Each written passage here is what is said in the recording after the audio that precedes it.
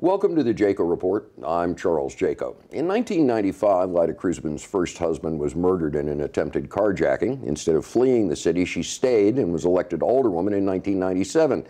In 2003, she took out a second mortgage on her home to pay for an unsuccessful campaign against Missouri's concealed carry law. More than most of us, those incidents show, Krewson has skin in the game to save St. Louis. In 2017, she became the city's first female mayor. She inherited a shrinking city set to drop below 300,000 population in the 2020 census, which would be the first time the city would have been that small since 1864. She also inherited control over a police force hammered by misconduct and brutality complaints and indictments, a city's budget so thin that even buying new garbage trucks was an effort, a murder rate placing St. Louis in the top 15 of the world's most dangerous cities, and a mostly African American north side where mile after mile of crumbling buildings looked like Fallujah after an artillery barrage.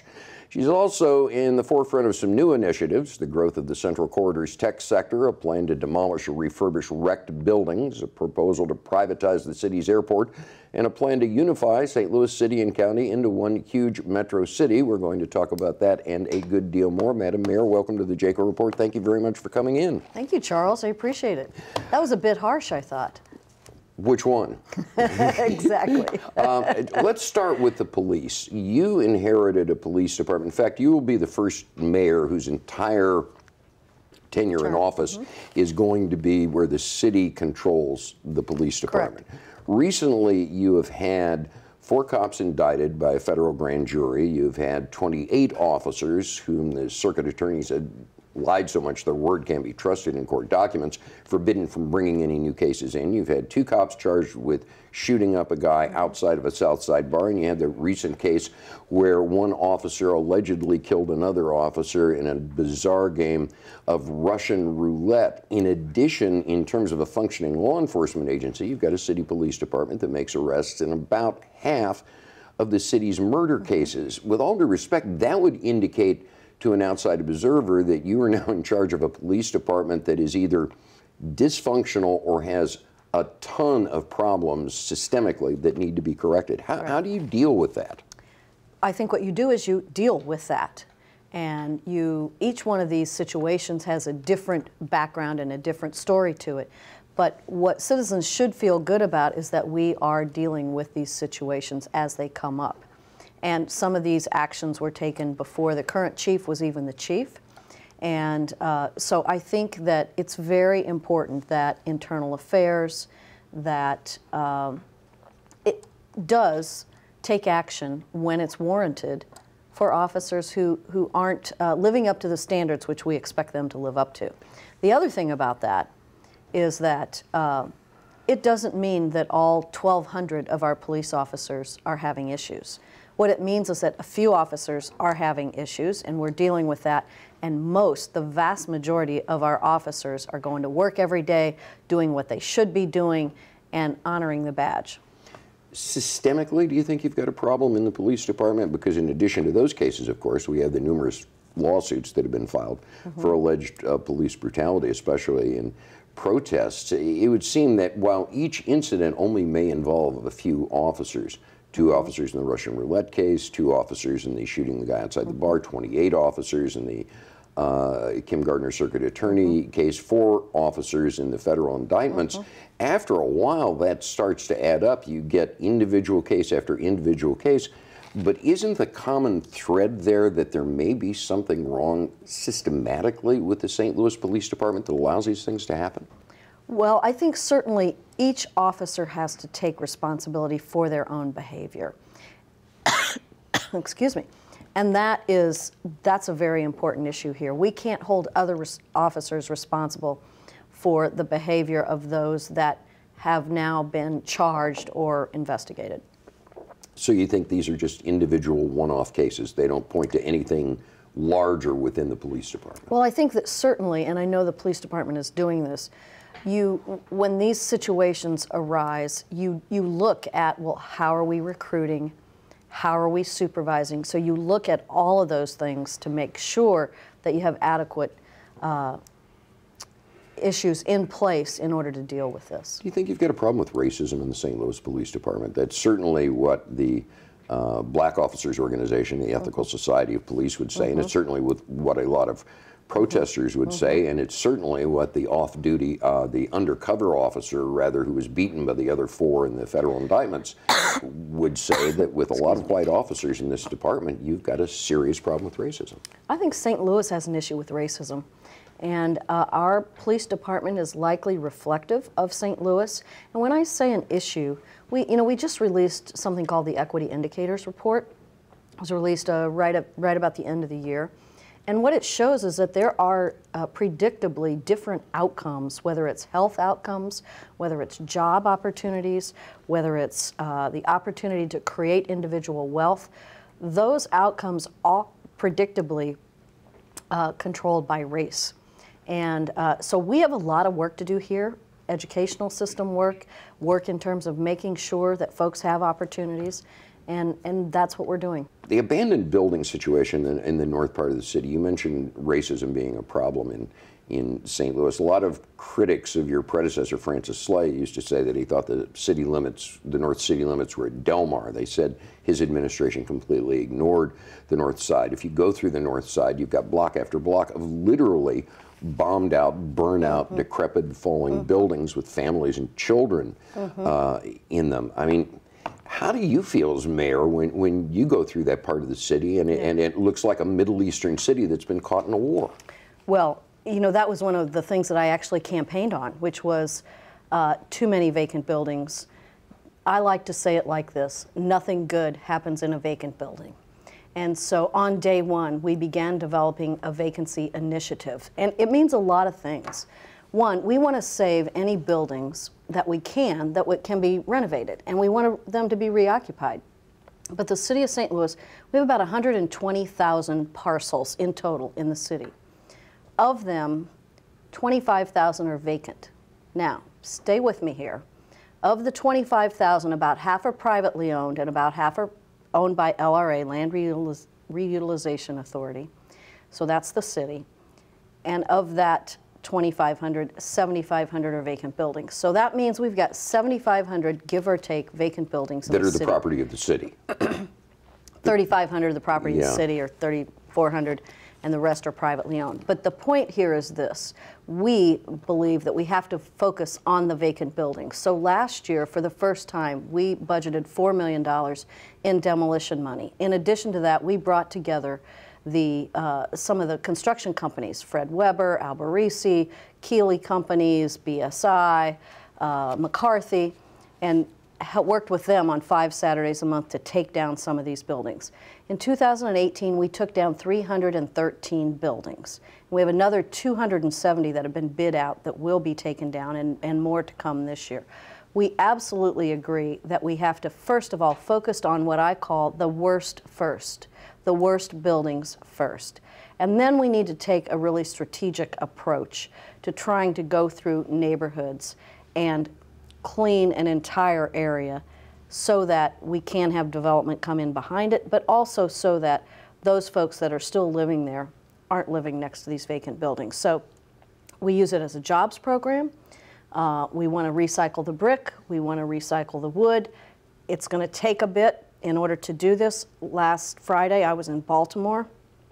Very similar problem, a lot bigger problem than we have, uh, but looking at how they are doing their vacant buildings. So we are working both on the demolition side of things and also on the preservation side of things with Prop NS, which is a, a tax issue that was on the ballot a couple years ago that will provide money to stabilize.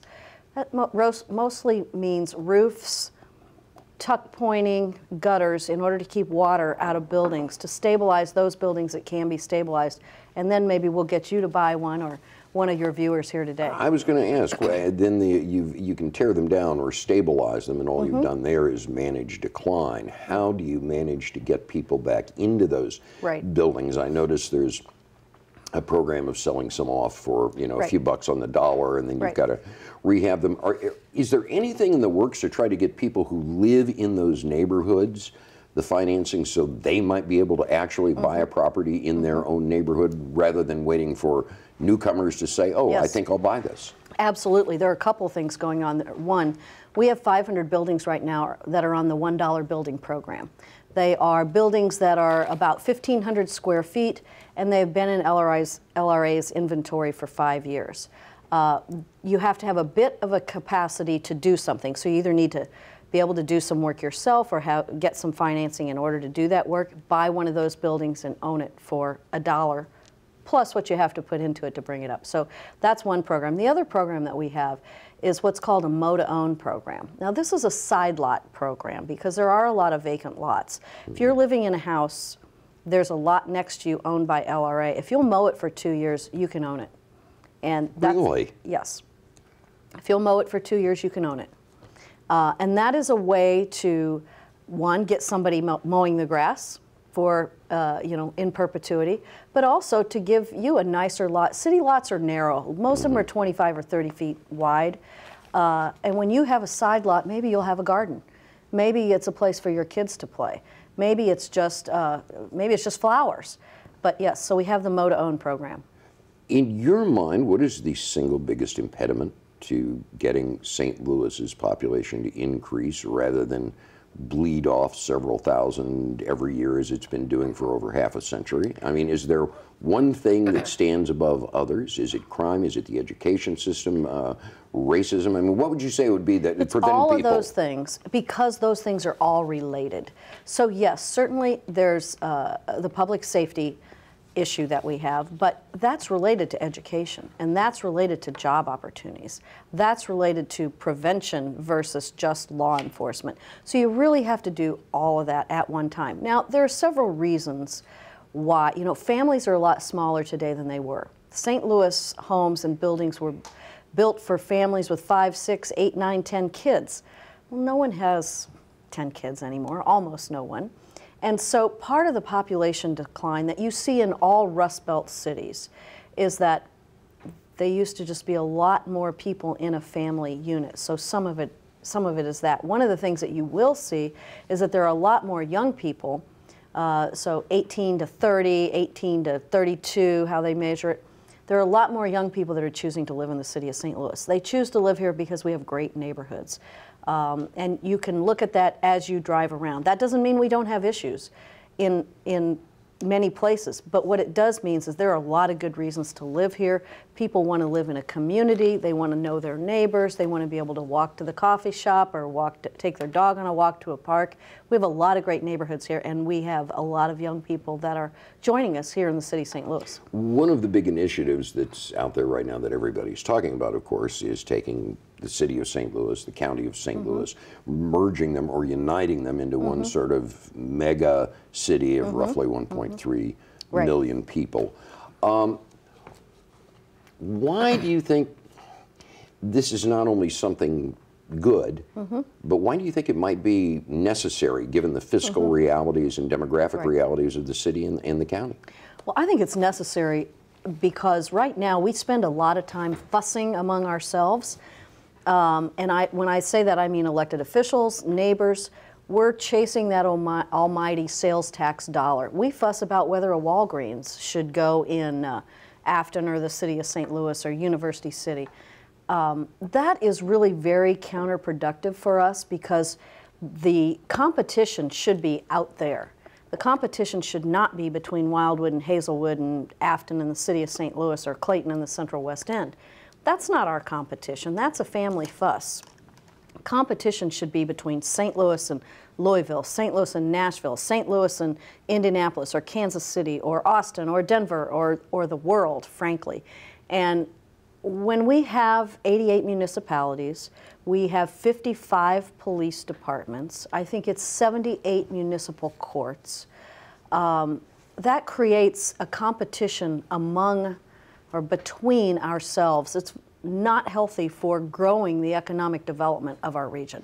So that's just one of the items. What would be your bumper sticker to sell this to skeptics? Because well, living in St. Louis County, I mean, if I had to guess, I would guess if it was just put up to a vote in the county, it would probably def- be defeated uh, overwhelmingly. And part of that, and you know it and I know it, is just racism. Part of it is because a lot of people move to St. Louis County to get away from black people, and they do not want the city following them. How do you make a legitimate economic case to people who are the white flight folks who look as some sort of unification as bringing the problems of the city to their doorstep?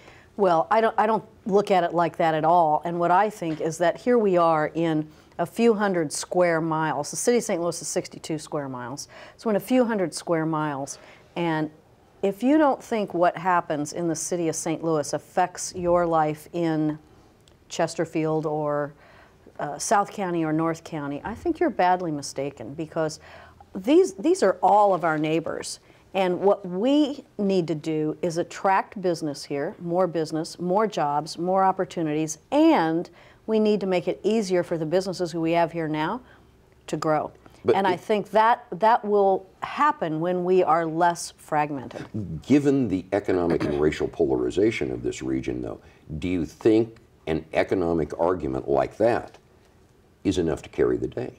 I think that the good people of city and county of St. Louis know that what we are doing now is not working as well as it could. Um, and that we really ought to try something different. And I think that something different is to be able to come together and try to solve our uh, issues and try to grow our community, our whole community, together. Um, and it's partly economic development, certainly, but it's also um, just the way we're going to help one another out. Given that this would go to a statewide vote because a state mm-hmm. constitutional amendment would mm-hmm. be required, given that there's still a lot of town hall arguments and, and you know, things mm-hmm. to go along, what do you think the consequences would the consequences be should this fail for whatever reason that the voters reject it or the idea is dropped and we continue the way we are? 88 municipalities in the county the city of st louis both either stagnant or, or losing mm-hmm. population where if this fails where do you see the city and the region at in say 20 years You know, I don't spend a lot of time thinking about when this fails. I spend a lot of time thinking about how to make this happen and how to move this forward. And what I say to people all the time is think out. Think out 10 years. Try not just to think about next year or the year after. And think about what might have happened had we done this 10 years ago or 20 years ago. Maybe we wouldn't have some of the outcomes that we're having today. And so I ask people to take a broader look and to think out into the future, to think out for your kids and my kids and our grandkids and what kind of community they are going to live in. And I think St. Louisans will do that. I have a lot of confidence in St. Louisans. You know, I'm out and about all over this community, and while pe- there are people that are worried, okay, when this change makes us anxious, all of us. We're all worried, but we we can lean forward on this and come together as one community to try to uh, address the situations. Well, the corollary would, of that would be if you're asking people to look 10 or 20 years down the road as to what the benefits could be, there's also got to be a warning attached, doesn't it? If you don't do this 10 or 20 years down the road, here's what the outcome is going to be. And, and I guess I'm wondering, you know, all right, things in your mind would get better 10 to 20 years from now if this passes. or I five take- to 10, But I take it the flip side would be things are going to get worse if it doesn't pass. Well, I think there's some evidence that we are not keeping up with other areas, with other metropolitan areas. We are an old Rust Belt city, and we made the decision back in uh, 1876 to split. And from my reading, it looks like by about 1900, folks had regretted that decision. And there have been five or six major efforts since then to bring us back together, but it's never really happened. And uh, I, I just think it makes great sense, not just economically, but the way we feel about each other. And don't forget, the municipalities, and I, I understand, I live in the Central West End. Uh, my daughter lives in Tower Grove South. Uh, I have friends who live north and south, and we all identify with our neighborhoods, and that's a really good thing. And St. Louis County, those municipalities will stay in place and they'll continue to identify with their neighborhoods too, whether it's Kirkwood or whether it's Jennings or Florissant or Chesterfield. Those neighborhoods are still going to exist. But if we are able to come together, we will have one police department over the entire area. Of course, there will be police stations all over, all over the area, but there'll be one police department. That police department will have standards, standardized training, same laws to enforce, a much more consistent policing. And we know from four or five years ago when we had the situation with Michael Brown, and that brought to us, brought to the front of our minds, the situations with municipal courts. We know that there's a very uneven uh, policing and uneven municipal courts now, and, and I think that almost everybody agrees that that should be more standardized. Shifting gears for a moment, uh, the, the, issue of privatizing Lambert International mm -hmm. Airport has, mm -hmm. has been uh, front and center. Are you in favor of that? I don't know if I'm in favor of it because we don't have any proposals yet. What I am in favor of is exploring the idea. I'm in favor of finding out what, what could Lambert look like? Could we have more flights to more places more often for both people and freight. Freight's a big deal. Um, just all those packages that show up on your porch, well, they get there somehow, right? So that's freight. And uh, so I am interested in exploring whether or not one of the companies who runs airports around the world, very common in Europe, as you know, about half the airports in Europe are already privately operated. Can one of those companies bring something to the table uh, and can we learn from them can they do a better job than an entity, Saint, City of St. Louis, that operates one airport in the whole world? So well, I'm interested in looking at it. What would the time frame on that be? Do you know? Well, we hope within the next couple of months that we will have a request for qualifications and RFQ out because we'll qualify who is able to propose on this.